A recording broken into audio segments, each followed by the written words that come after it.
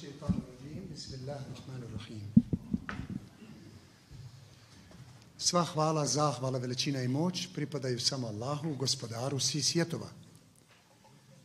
Neka je Allahov blagoslov, salavat i selam na učitelja svijeta Muhammeda, sallallahu alaihi wa sallam, na njegovu časnu porodicu, plemenite ashabe, prisne prijatelje i na sve one koji učeći, čitajući, oslobađaju se od svake vrste poniženja i od svake vrste robovanja osim njemu, jednom jedinom. Draga braćo i sestre, plemenite duše, želim da vas pozdravim vječnim pozdravom. Salamu alaikum wa rahmatullah. Neka je mir i spas na sve vas. Naravno, zahvale posebno pripadaju nakon zahvala Allahu Đelešanu organizatorima, predsjedniku, mufti, glavnom imamu, svima ovdje, vama prisutnim, doista čovjek čovjeku dođe kao najljepša i najefikasnija terapija samo kada to želi da shvati. Govoriti o ovoj temi namjerno želim nekada da naslov teme bude malo izazovan, malo na prvu svačen, ali upravo je cilj da analiziramo, studiramo i tražimo najbolji, najoriginalniji način kojim čovjek ima priliku da se upozna sa onim zbog čega je tu, sa smislom života. Svi mi, svi mi u biti znamo da postoji neki smisao. Dokaz da znamo da postoji smisao jeste naše izražavanje. Kad nam se nešto ne sviđa, mi kažemo to stvarno nema smisla. E nema više smisla to i to. Stvarno više nema smisla da ovako postupaš, da ovako pričaš, da tako prezentiraš i tako dalje. Mi svi otprilike koristimo tu riječ smisao. Meni se svidjelo tumačenje poznatog fizičara, filozofa, kako hoćete, Einsteina koji je rekao svaki čovjek koji koristi riječi u svom jeziku, to i to nema smisla, automatski se podrazumijeva da on zna šta ima smisla. A religija, vjera upravo govori samo o tome šta ima smisla i šta nema smisla. Jel da lako je reći, vala nema smisla. To vam ako kažeš da nema smisla, da reći šta ima smisla. Ti bi trebao znaš šta ima smisla. Međutim, mi često konstatujemo da nam se nešto ne sviđa. I dobri smo, eksperti smo u diagnosticiranju stanja našeg, pogotovo naše bolesti, vidljive, čak i nevidljive, kad nam se nekada omogući neka strana loša čovjekova ili neko njegovo poglavlje. Kad nam se otkrije da nije dobro, iako je istina. To što je kroz njega teklo, tad mi, umjesto da tražimo smisao, mi gubimo smisao za bratstvom. Gubimo smisao za čovjekom, za njegovom prirodom, za njegovom originalnošću koja je inače tajna i nepoznata većini.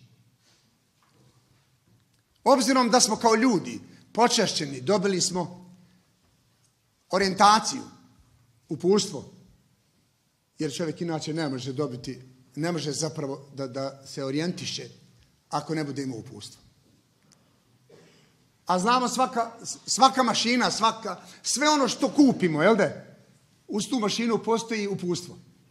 Dakle, kako se radi, kako se sklapa, kako se rasklapa i tako dalje. Bez tog upustva može samo majstor. A njemu ne on čim vidi šta je, on, da vam zna šta je, odmah i rastavi, sastavi sve, bez upustva. Onaj ko zna, onaj ko svakodnevno analizira svaki dio, zna li kako se zove. Dobro, ako svaka stvar ima upustvo. A i ti si stvar. I ti si najbitnija stvar među svim stvarima koje postoje. I ti bi trebao imati upustvo. I ti bi trebao imati upustvo po kojem ćeš postupati da se orijentiraš, da znaš koliko je sati, da znaš kako ćeš sa sa komšijom, da znaš kako će sa drugim, sa drugačijim, da znaš kako će sa ženom, s mužem, kako će sa djetetom, da znaš kako će sa onim ko te vrijeđa, ko te mrzi, ko priča, ko potvara, ko te potvare, tako dalje. Sve da znaš, da ne bi rekao iznenadlo me kako je to mogao reći, kako je to moglo reći. Nije mi jasno zbog čega tako postupa. Pa zašto nije jasno? Inače, Kur'an ima inače puno imena. Preko 80 naziva za Kur'an. Ja namjerno često upotrebljavam umjesto riječ Kur'an, kažem sasvim drugu riječ koja je također jedno od imena, a mi ne znamo da to između ostalog postoji. Ne znamo. Znate zašto ne znamo? Zato što malo čitamo. Odnosno čitamo radi ispite i radi plate. Ne isplati se raditi, čitati i voljeti radi plate.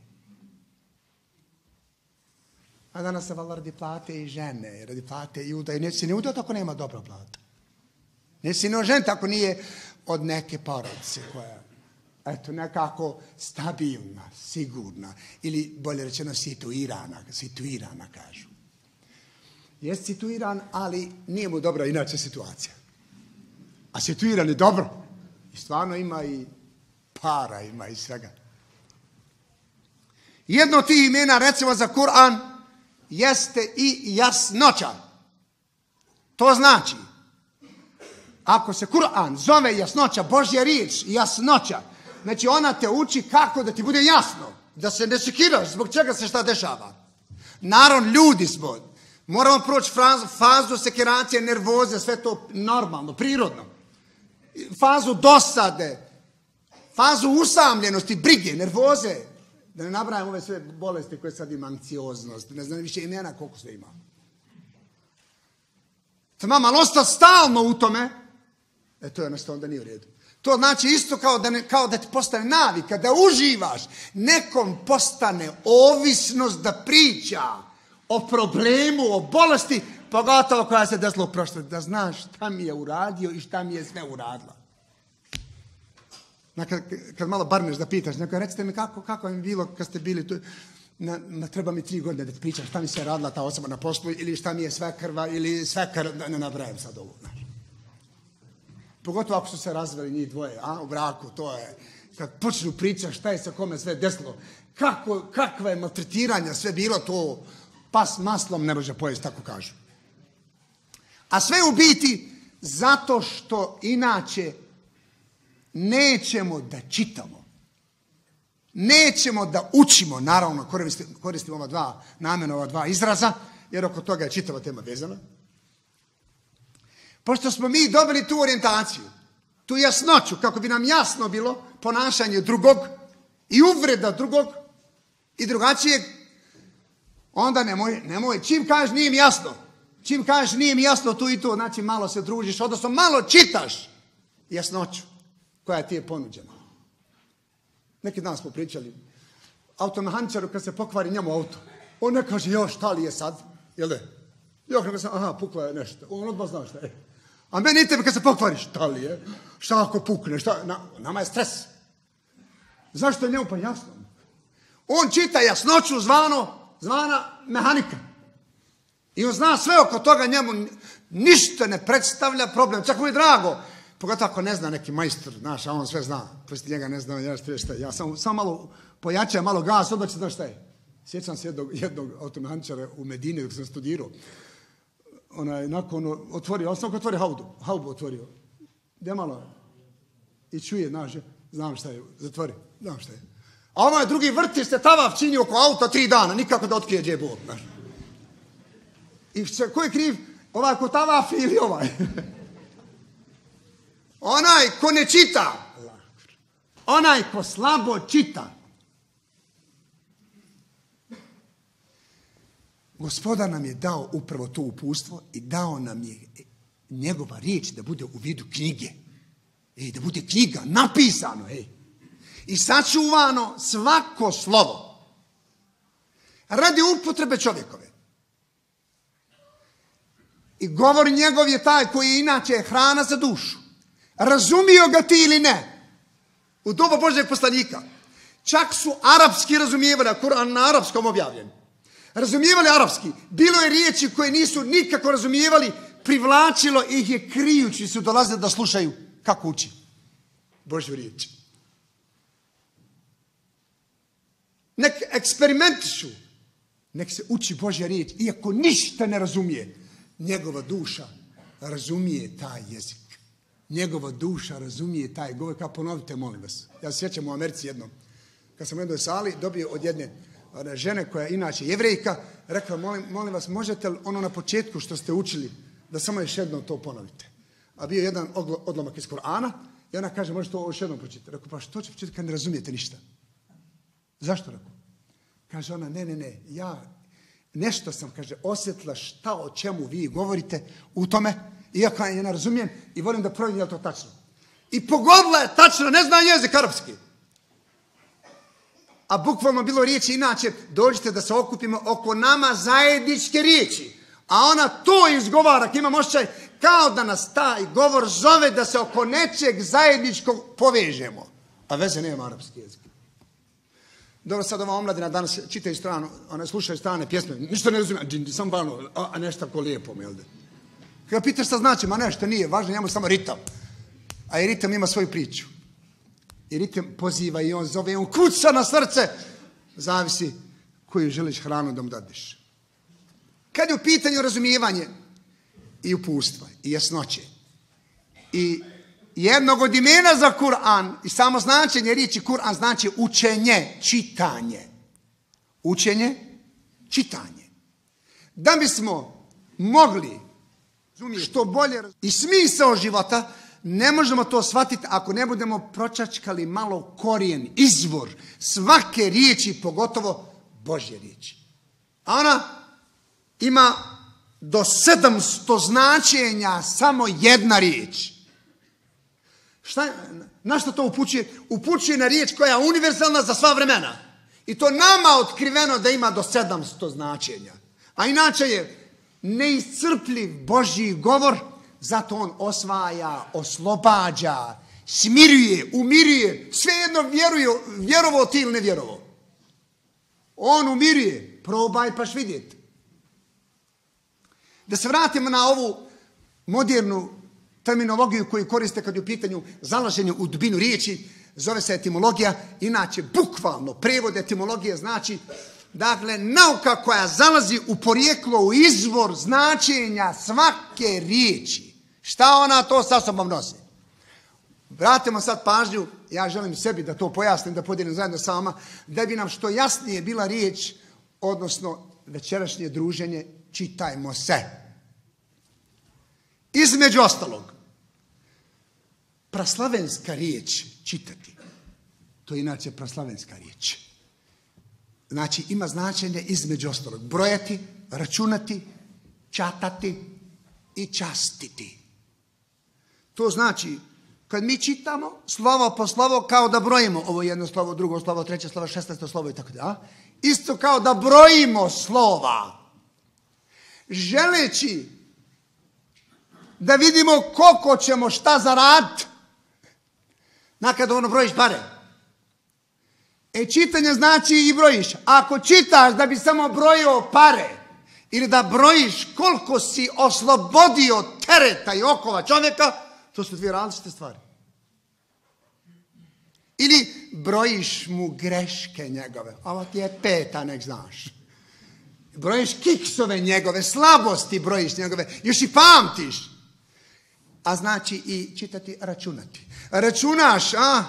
Kad čitaš, kad mu pročitaš, kad se da da pročitaš, računaš koliko će to koštat kad pročitaš. Danas se tačno zna koliko košta i stranca da, da, da ono, sve, sve, sve, sve, sve zna. Dobro računamo. Znači i častiti. Čitaš li da bi se počastio s nekim pa da to podijeliš? Kako nekada samo jedna rečenica, jedna misao, jedna izreka, toliko zna da legne da je prihvatiš s s ljubavlju, e, ona ti bude komoto kroz život, kako da razumijevaš, kako da razumijevaš svoje slabosti i slabosti naravno drugog da bi mogo da putuješ. A na arapskom, inače jeziku, ova riječ čitati, znači sakupiti, brati, sabrati, zanijeti. Znači mi kad počitamo jednu riječ, jedan pasos, jedno poglavlje, mi kao da zanesemo neš sa značenjem toga što pričitamo, mi zanesemo. kako pročita to i to, nešto me glava zabola. Nešto mi ovdje hoće biti. Vidite ovo. Znači, ono preneseno, znam, zatrudnio si sa, sa onim što si pročitao. Znači, kako ima, ima povezanost. Znači, također i period puhanja vjetra. Znači, kad kreneš da čitaš, uniđeš u polje čitanje, već budiš, pokrećeš jedan val vjetra koji inače ili smiruje ili te uznemirava. Pazi šta čitaš. Biraj šta čitaš. Do tebe je. A razlika između čitati i učiti. Interesantno, učiti u arapskom jeziku pogotovo. Spomenuo je profesor da ga Allah nagradi Emil Efendija. Onaj imperativ, a ikra. Mi svi znamo da kažemo, nama je Božja riječ prva imperativ uči. Nauka je na prvom mjestu u redu. Zaboravljamo da je ovaj imperativ. Ko kad kažeš nama, ko ste vi? Ovo je jako bitno. Na nama je prva, prvi imperativ. Ko je nama, Bogu? Čovječanstvo. Nama svim ljudima imperativ je čitaj.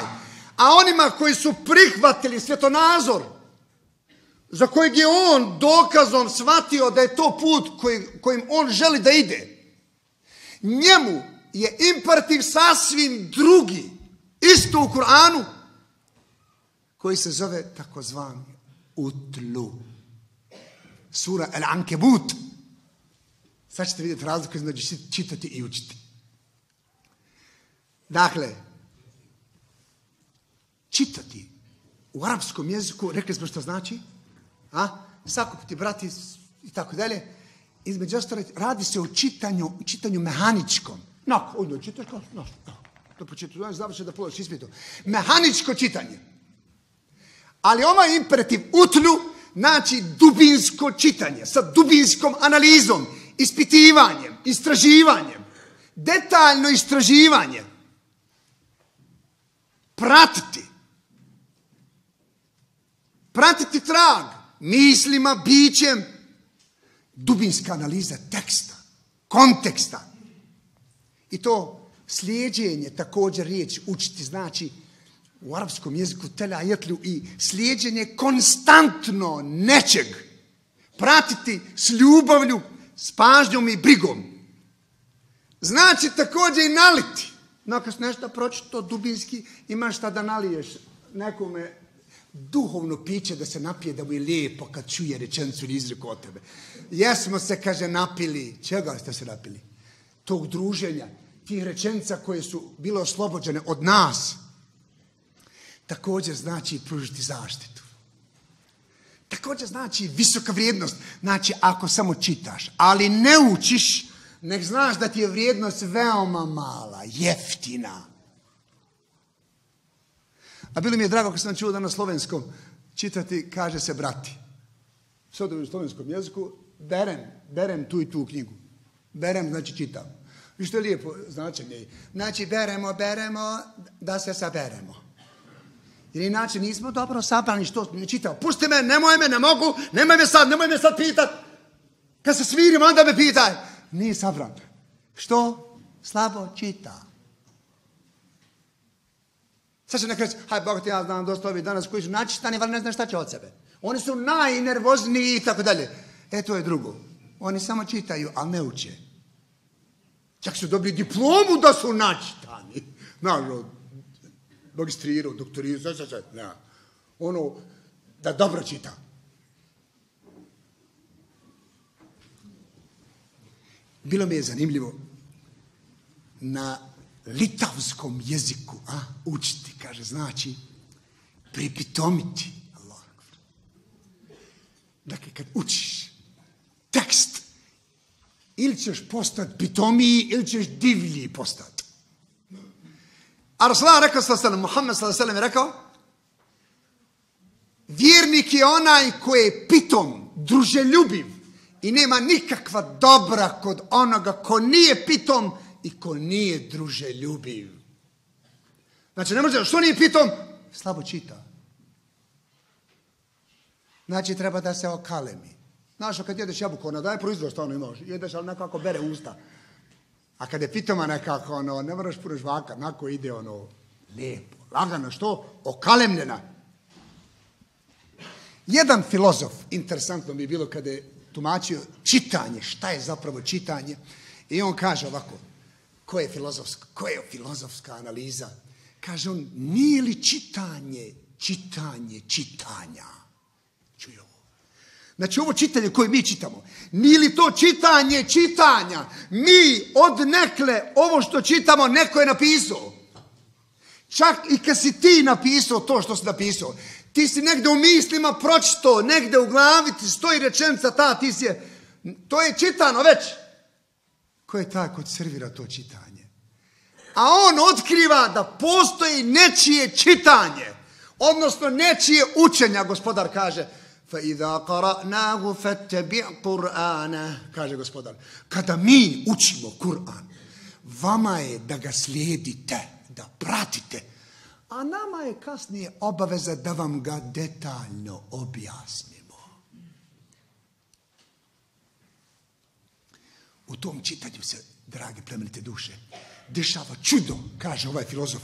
Svake sekunde kao da je druga rečenca kao da je druga riječ Nikad ista.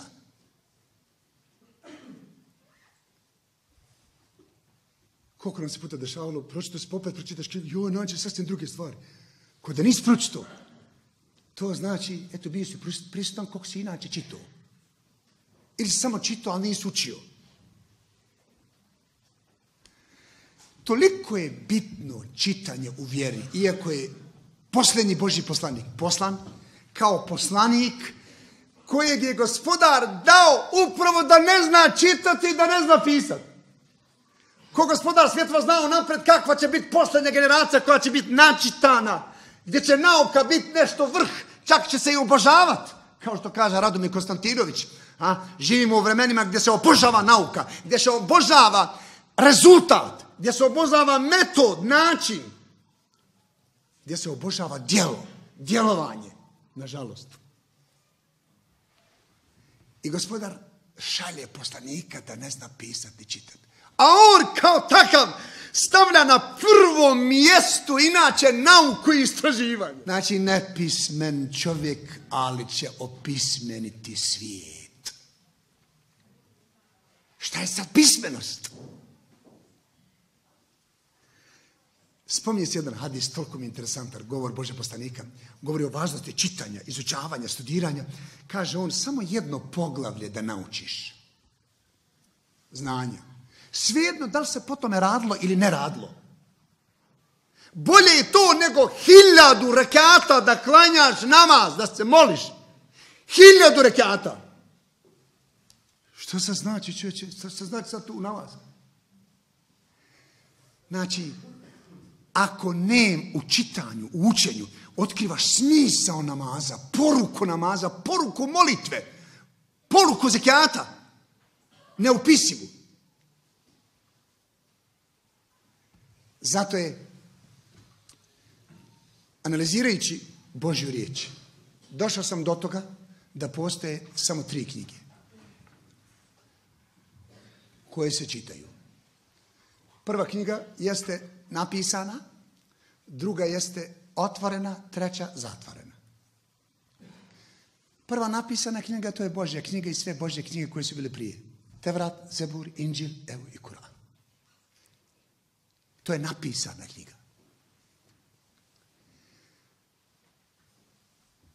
Sve knjige koje, koje su napisane danas, koja ima rečenicu jednu koja je korisna, svejedno ko je napisao, musliman, ne musliman. Bilo ko. Filozof, ne filozof. Ako taj pasos, ta rečenica, to poglede, tebi je koristilo, nek znaš da je svaka knjiga koja je napisana, ona je svjesno ili nesvjesno komentar Božje napisane knjige. Ja zovem nesvjesni komentatori Božje riječi. Jer, kaže jedan čovjek koji je poznao svaki govor Božjeg poslanika, rekao je, nema ni jedna rečenica, ni jedna izreka, narodna, poslovica, bilo koja rečenica mudra, a da ona nije spomenuta u Božjoj knjizi. Dakle, bilo koju poslovicu kad biste rekli, nek znate da je ona u Božoj knjizi. Samo treba malo analizirati, malo zadubiti se u etimologiju i naćeš upravo to, tu izjavu, tu rečenicu, tu poslovicu koja se koristi. Dakle, nesvjesni komentatori, svi koji pišu, dopadne nam se, oni nesvjesno komentarišu ili svjesno a, komentarišu Božju riječ. Ovo je napisana knjiga. Druga knjiga zove se Otvorna knjiga. Ona je do koga nije došla ova napisana knjiga, Božja, sve ove Božje knjige koje su bile. Do koga nije došla, zbog razloga ovoga ili onoga, zbog sistema školstva, zbog obrazovanja, zbog nekako nasljeđene predrasude u knjizi Božjoj i tako dalje. Gospodar njih neće uskratiti samim tim što su rođeni tu, gdje su rođeni tu, u takvom mjestu, u takvom okruženju. Neće uskratiti svoje knjige, daje im otvorenu knjigu, a otvorena knjiga je priroda koja ih okružuje. Dakle, evo čitaj prirodu. Čitaj list, analiziraj vodu. Čitaj sve, čitaj mrava. I ta voda ga je dovela do Božje knjige. Taj mrav, taj leptir ga je doveo do Božje knjige. I sve ono što čovjek studira, a, geografija, biologija i tako dalje, čitaš, brate, sestro, plemenita dušo, čitaš Božju otvorenu knjigu. O, ka, koji su to, koji su koja su to slova, a? Pa čak, ej, čak imaju imena oni, ruža, kako se koja zove, ba, to se čita. Biljaka, zašta šta služi, vidi koja je to nauka, koja je to knjiga otvorena. Da nisu uskraćeni oni koji, kojima je bilo teško da dođu do Božje knjige napisane. I treća knjiga jeste, treća knjiga jeste zatvorena. A to je čovjek. To je čovjek. E, ovo je tajna. Čovjek je zatvorena knjiga i on je tajna. Njega samo gospodar zna. A mi ga znamo onoliko koliko nam on dadne da, da skontamo, da pročitamo. A mi se često usuđujemo da se ponašamo kao da, da znamo čeka, da znamo tu knjigu.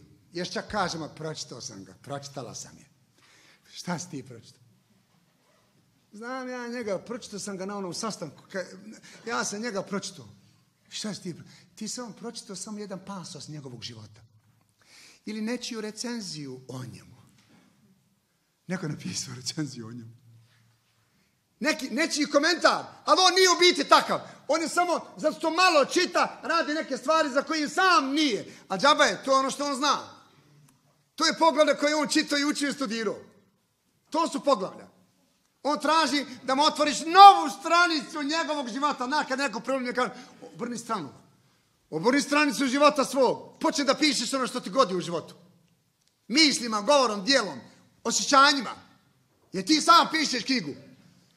Ti, ja i ti govorom, mislima, srcem, osjećanjem, emotivnošću. Mi pišemo knjigu svoju. I sutra će nam gospodar reći, ikra kitabet, čitaj svoju knjigu komentator Kur'ana kaže, ne samo to knjigu koju je poslao, a, nego čitaj ono što spisao radeći, ho, mislima, hodajući, skrivenom namjerom. Sve se to piše. Ti spisao po toj knjizi. Zato ne valja šarat onaj, knjizi. Piš lijepo vas da o svakom. Piš lijepo. Ma 90% je bolestan čovjek, ti nađi jednu, jednu osobinu dobru, reci. A kako, kako, ima, kako se dobro oblači. A što ima ukus, nešto. Znaš. Inače, ono, kad se obuče, baki. Nađi mu nešto.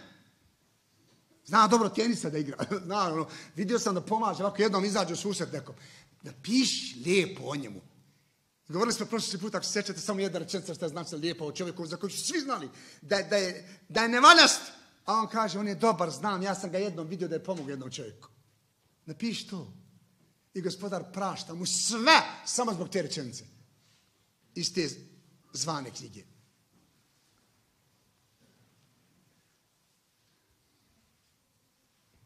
Ova knjiga, ova knjiga inače čovjek. Ali gospodar nam je dao da znamo neka poglavlja o, tom, o toj knjizi. Ono što mi vidimo neke pasose. Pogotovo nekada ne možemo vidjeti, ali samo osjetimo, ali drago nam je da smo u društvu te osobe. Dakle, gospodar nam otkriva samo neka poglavlja koja on želi da otkrijemo ko je zapravo čovjek. Znaš, kad ti skontaš, svi misle da je on pokvaren, ti skonto ko je on, zašto je on tu se našao, zbog čega to radi, on ti kaže, sačekajte ljudi, stanite, nije on takav, znam ga ja, sačekajte. Nije to njegova strana, nije to njegov original, to je on pokupio kroz život. E mi, zbog te vrijednosti ili poglavlja u čovjeku koje ima, za koje, u koje se mi zaljubimo, pa usta se mi drugo zaljubimo upravo u neki pasus kad vidimo kad ga, šta piše ono o njemu. Kad ti pročitaš o njemu koje je šta je, nešto te, nešto te privuče i zavoliš i oženiš se ili udaš se zbog toga. Zbog jednog poglavlja. A ne znam šta je na 53. stranici. na 53. ne znaš šta je naslov. Znate kad smo govorili, niko neće reći kad se oženi, ljubav ne znaš da ćemo se razvesti za jedno 30 godina. Jel da? Niko to neće reći. A to mi je bilo na 363. stranici. Primjer radi. A niko to u biti ne želi. Mi obično tu osobu kada vidimo samo jedno pogled da nam se sviđa, mi onda njega uzmemo kao mentora u životu našem, jel? On će biti moj mentor. Što? Zar, zar priznaš da ima neko ko bolje zna od tebe? Svi mi priznamo da je mentor na fakultetu bolji od nas. Sada, ne ti reći mentoru. Mentor da tebi neke stvari nauči. Jel da? Hajmo reci. Reci kolega, ponesite indeks. Završeno. Pogotovo kad znaš da je ono stručan, detaljan, analitičar, znavan. Jednostavno hoćeš da ga slijediš, pratiš sve šta je on napisao, svaku knjigu ti njegovu čitaš, jel da? I uzmamo ga za mentora. A znate šta znači inače mentor? Kad sam saznao, bilo mi je simpatično. To je inače grčko-ilirska riječ. A? Mend, to je na albanskom i dan danas se koristi, mend je pametan. Pamet. Tako da je mentor onaj ko ti vodi pamet. Ja kažem, treba nam hartor. Onaj ko će nam voditi srce. U redu, za pamet, vodite pravo, nema. I, i zaglavio, si, zaglavio si pameću tog i tog. Lako je. Nije dovoljno sam imati mentora za pamet. Treba mentor za osjećaj. Mentor za emociju, za ljubav, za namjeru. Kako da je pročistiš, kako da je očistiš. Kaže jedan velikan, Svu nauku u svoje doba sam naučio za šest godina. A namjeru trebalo mi je 30 godina da je pročistim. Lako naučiti i dobiti desetke. A valja, valja živjeti. Valja živjeti sa drugim i drugačijim. Valja živjeti u braku. Dakle, mentor srca. I taj mentor, zapamtimo sada, pogotovo, ako ima vezu, konekciju sa svevišnjim, jer on zna da je čitanje čitanja. On čita ono što je već pročitano, što je već rečeno, što je već kazano. To danas i naučno otkrivaju. Zovu ga Akašičko polje. Jedan Amerikanac je 40 godina radio na, na istraživanju toga. Akašičko polje, to je dakle otkrio da postoje neka skrivena ploča u kojoj je napisano sve šta je bilo, šta će biti i što se sad dešava. On ga naziva Akašičko polje. I kaže, svaka ta informacija bdije iznad čovjeka svakog trena. Mi, kaže, koristimo otprilike dvije, tri hiljade u svakodnevnici i ništa dalje ne idemo. A svaka, sve što je bilo rečeno je. I samo šeta, kola. I što zavisi šta ufatiš, šta upecaš. A koju rečenicu upecaš. Taj mentor kojeg si uzeo za, vodiča, on ima zadaću, znate šta? On je samo podsjetnik. Pošto je on knjiga, mi, mi nju volimo, to je knjiga koja hoda, a? čovjek. I to je zatvorna knjiga, tajna, teško da je otkriješ, da je skontaš koje. Zapamtite, on je samo podsjetnik na knjigu živu koja je također hodala po zemlji. A to je posljednji pečatni Božji poslanik. Kad su pitali ste išli ko je Muhammed, kaže, to je knjiga koja hoda. Vidite ovo, knjiga koja hoda. I sad ti vidiš nekog čovjeka, ne vidim pasos, jedan ide od tamo. Evo ide jedno poglavlje. Evo ide knjiga, ona. I mi kažemo za njega, enciklopedija. za nešto čovjeka, ali On, enciklopedija. On je erudita. Jel da to je posljedna skala, ono, magistar, doktor, akademik, i na kraju zove se erudita. Kad sam vidio što znači riječ erudita, znate šta, izbaciti, izbaciti iz dubine čovjeka životinsko. E to znači erudita. Znači kad izbaciš, izbaciš iz čovjeka posljednju kap životinskog odnosa prema drugom, on je erudita. E, ne bismo rekli vala da ima erudita. Mislim, malo je. Ma ima akademika, naravno, doktor, stoje. Ali ne mogu se smisliti, a na istom fakultetu su. Čak i možda vjerski fakultet, teologija. A klanovi ne mogu se smisliti, što? Neće da čite jedni drugi. Samo čita sebe. U pogrešnom smislu.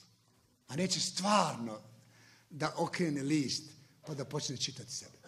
Najčitanija osoba je ona koja čita da bi sebe pročitala. To je najčitanija osoba. Pa takav ti je namjer da čitaš sebe. Drage plemenite duše, danas kažu da je knjiga prijatelj, jel da? Knjiga je prijatelj. Dobro, ako je to tako, kakva je onda to sad knjiga koju mi, ovaj, moderni svijet čita? Koja je to knjiga? Kakva je to knjiga? Koja nas je odvojila i odvaja od čovjeka, od prijatelja, od muža, od žene, od djeteta, od komšije, od drugog i drugačijeg. Koju to knjigu mi sad čitamo, čovječe? Čije, čije to se? Neljudske čitamo. Ja želim knjigu koja će mi biti stvarni, istinski prijatelj. Koja će me upoznati, povezati sa svakom nedovoljno ili dovoljno hodajućom knjigom. Želim knjigu koju ću čitati i dok hodam i dok spavam. Želim knjigu koja će biti sa mnom i kad budem umro. Odnosno kad budem promijenio život da je ponesen sa sobom. Želim knjigu koja će biti vječni prijatelj. Zato je učitelj svijeta Muhammed sallallahu rekao učite, kaže, knjigu Božju, Koran. Učite učenje. Jer ona će vama sutra reći, ja sam tvoj prijatelj. Učite, ona će vam, ona će se sigurno sutra za vas zauzimati. Čak u predaji hadis kucija spominje se da je gospodar Muhammedu rekao, objavljujem ti knjigu Muhammede koju voda ne može oprati, koju ćeš čitati i dok si budan i dok spavaš. Znate, probudiš se ti pun ideja. Šta je bilo? Dok si legao spavati, iščitao. Koliko se, se puta desilo, probudio se, odmah napisao rečenicu. Gdje si to išao? Gdje ti je tabla? Ispunio tablu sa sobom. Neko ti servira da naučiš, ovisno o tome šta želiš sa čitanjem tvojim. Vala imamo, eto, Božju knjigu. Imamo. Čak imamo komentara, knjiga napisanih nikad više ko sad. Ali srca su udaljena, razjedinjena, ohola, umišljena, uspavana. Tumačimo Kur'an, ali nećemo sebe da protumačimo.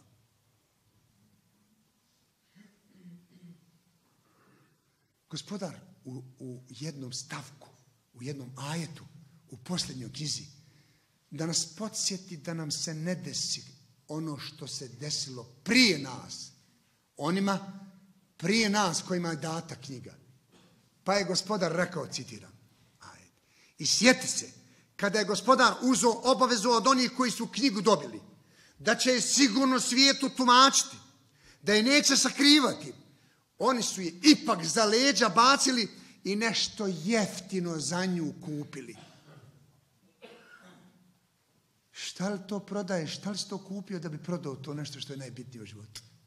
Na šta si kupio? Kupio si položaj. Kupio si, kupio si pare, projekat, karijeru, lažni ugled. Kupio si nešto što je potrošno. Jel da je nešto te muči? Tražio si nešto jeftino i uništivo. Bacio se za leđa. Ono što je najkorisnije za tebe, zato te muči. I stalno vidim nešto me muči. Pa ja. A vidite naredbe sada. Kad smo rekli tamo na dva imperativa. Prvi je globalno za svakog čovjeka ikre, a ovaj drugi je utlu, znači dubinski uči. Kasnije kaže, kasnije kaže, takvo učenje će prouzrokovati da namaz, molitva, bude potpuno čišćenje nutrine tvoje i da ostranjuje svu navaljaštinu, nervozu, mržnju, depresiju, sve ono što remeti čovjeka. Samo takvo učenje, a ne čitanje, ne. Zato gospodar kaže na jeziku poslanika wa umirtu an atluva quran Meni je naređeno da dubinski analiziram knjigu Božju, Kur'an. Dubinski, ne površno. Sjećate se ono, sad mi naopada, sad mi naopada ono, podavno sam spomenuo, mene repriza prestala, prestala biti dosadna od 99. pa vamo. I Pitao me jedan prijatelj, kolega, kaže, zbog čega stvarno evo imamo Božju knjigu i sve, a nekako odnosi ne nisu na dobri.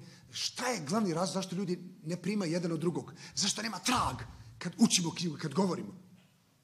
I onda dok je on pričao, duša čita, duša čita šta je se servira, ako hoćeš, i naupomi ajet iz Božje knjige koji je odgovor. Kaže gospodar, Afala yatadabbaruna al-Qur'ana am ala qulubin aqfaluha. Kaže gospodar, a zašto oni dubinski ne analiziraju Kur'an? Jesu li to katanci na njihovim srcima? Pita gospodar.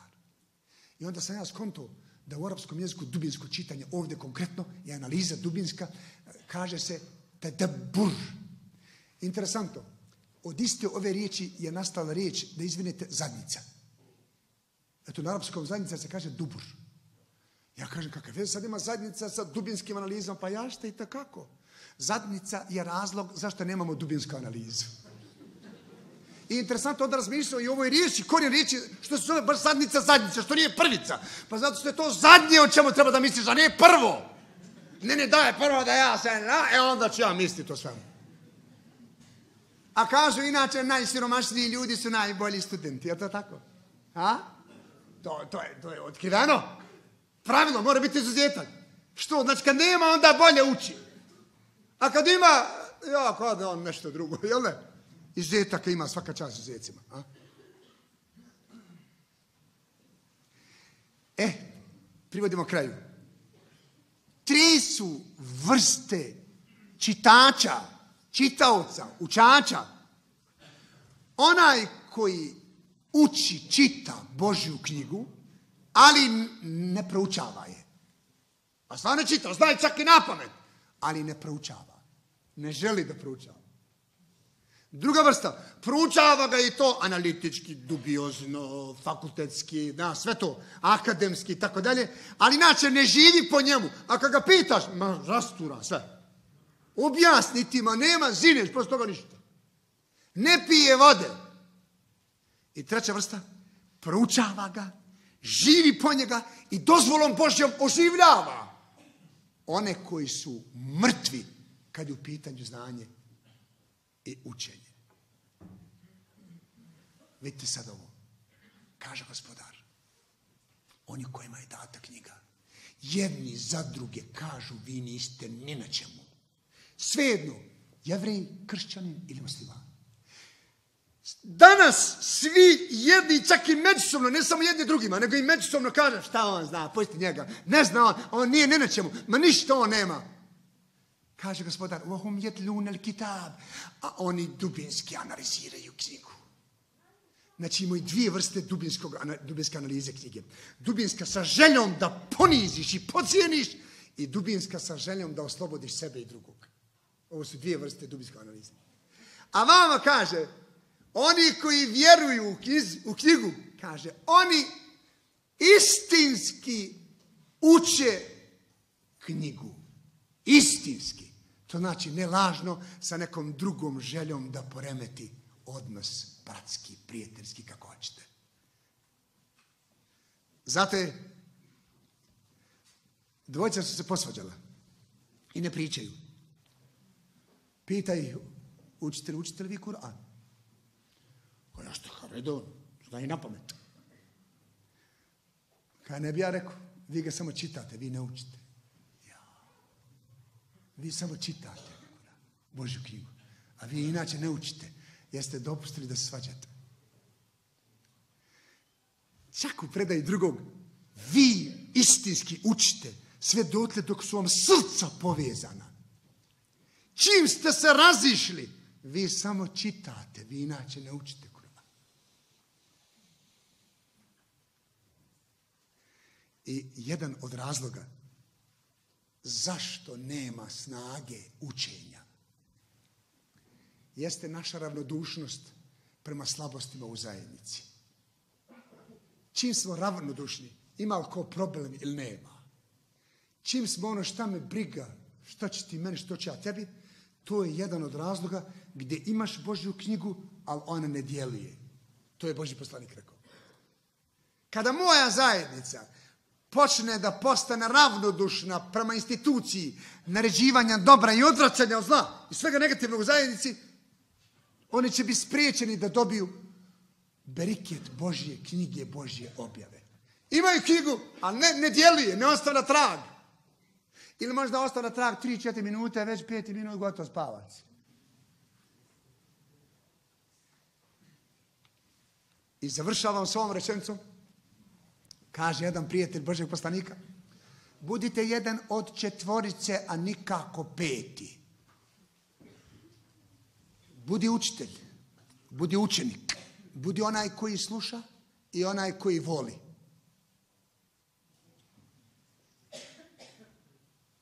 Nije rečeno, budi onaj ko pametuje. Budi onaj ko klanja. To šta sad?